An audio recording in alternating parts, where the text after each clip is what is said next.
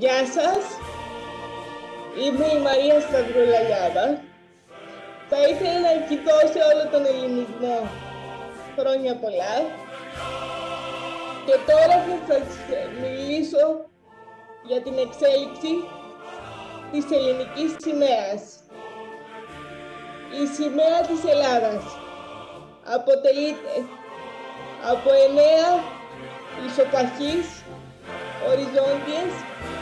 queden a los jóvenes les que quienes para les llorines en opano aristará en quien el apóstol de esa cena quiano de trágonos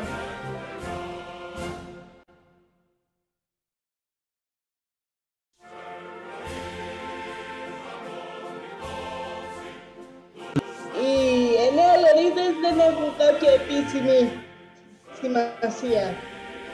Η πιο διαδεδομένη λαϊκή θεωρία αναφέρει ότι αντιστοιχούν τις συλλαβές της ιστορικής φράσης ελευθερία ή θάνατος.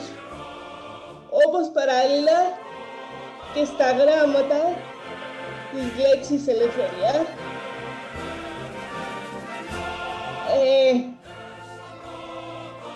παρότι δεν υπάρχουν βάσιμες πηγές που να υποστηρίζουν αυτό τον ισχυρισμό.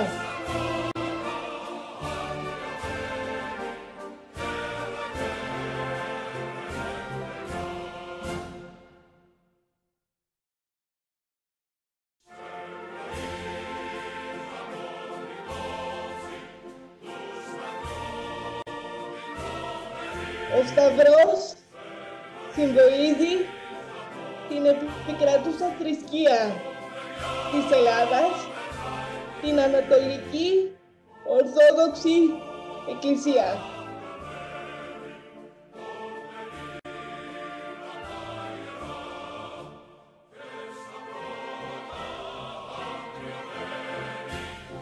Το κιανό και το λευκό συμβολίζουν τα χρώματα του ελληνικού ουρανού και θάλασσας.